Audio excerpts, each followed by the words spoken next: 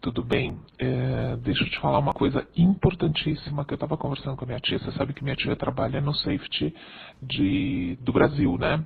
Na ABIN. A BIM é a, ela não trabalha na BIM, ela, ela teve uma reunião junto com a BIM. A BIM é a Associação Brasileira de Investigação. É o nosso FBI, vai. E um, um, super amigo dela é o Maurício, que é o safety da, do, de Guarulhos, do aeroporto de Guarulhos. Ele vem falando para ela e agora é, ele falou com muita precisão, tá? É, eles estão investigando já há alguns anos e agora com esses atentados todos, eles têm provas de que há células. Isso é, eu fiquei muito assustada com isso. A gente sabia, ver propaganda, ver tudo, mas a gente não, nunca tinha certeza. É, existem células importantes do Estado Islâmico no Brasil. A principal está em Curitiba e outra em Brasília. Eles têm absoluta certeza que vai haver atentado terrorista no, eh, durante as Olimpíadas. Então ele tá, falou assim, espalhem, não é sigiloso, para que a gente não vá aos, aos, às, às festividades das Olimpíadas, não vá não pegue metrô em São Paulo, principalmente em São Paulo. A delegação israelita vai ficar em São Paulo. Então, assim, eles não sabem se vai haver algum atentado em massa ou pequenos atentados como foi em Paris. O de Paris ele já tinha, por isso que ele foi muito rechaçado, porque eles já estavam investigando os caras que fizeram o atentado e deixaram acontecer porque pela legislação internacional de Haia, eles não podem prender as pessoas. Existem 15 meninos, né?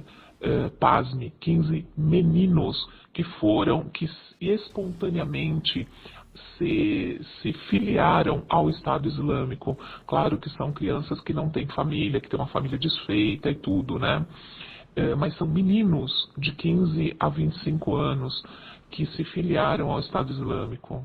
Eles se filiaram e esses 15 meninos estão sendo já monitorados pela BIM e, e eles, é, um deles, já então são 14, um deles foi preso porque já é, colocou uma bomba no metrô de São Paulo, não foi divulgado, mas a bomba que foi feita foi com os mesmos artefatos que ele recebeu, é, que foram os mesmos que foi no atentado de Paris, naquela boate de Paris.